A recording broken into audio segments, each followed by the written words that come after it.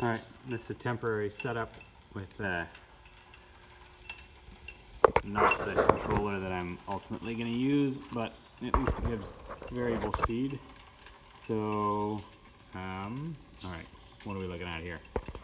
The power source currently is uh, a cordless drill battery, which is, oh, I think it's about half discharged. So, come on you. That's what I'm doing. Yeah, still got some juice in it. So that that's one of those nominal 18 or nominal 20 if you're DeWalt. Uh, it's five little 18650 cells in a pack. And currently it's powering this, uh, which is just a PWM speed controller and it has a forward reverse switch. Uh, if I turn it off, it stops. If I run it backwards, spin up and reverse. Although obviously the freewheels don't, there's not a lot happening in reverse with this machine. And then also down here is the speed controller pot that uh, tells it whether it should go faster or slower. So this voltmeter is reading not the not the battery pack voltage, but the perceived voltage at the motor as it comes out of the chopper. And so I'm turning up the pot here and going up to 12, 13. Pretty soon we'll get to full pack voltage. So the pack is still showing 17.9 volts. And so this is at full speed with that pack.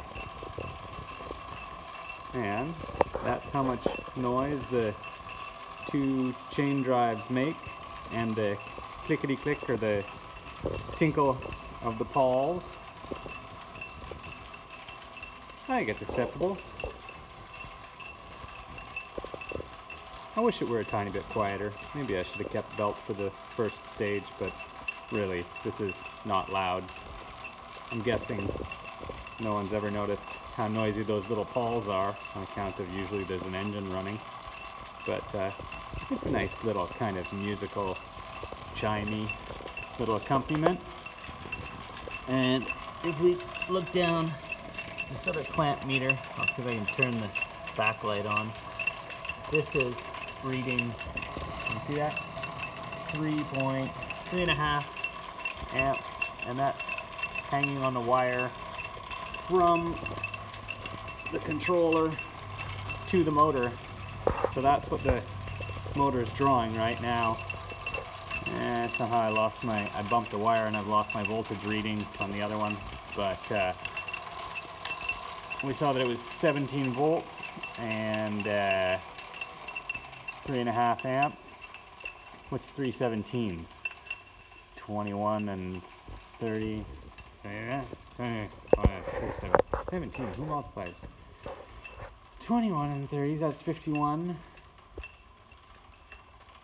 A little bit. Watts. Yeah. Yep. So it's only needing 50 watts to spin the wheels in the air. And if it's drawing three and a half amps, then that little drill battery could do this for a better part of half an hour at full charge because it's a it's like a two and a half or three amp hour battery.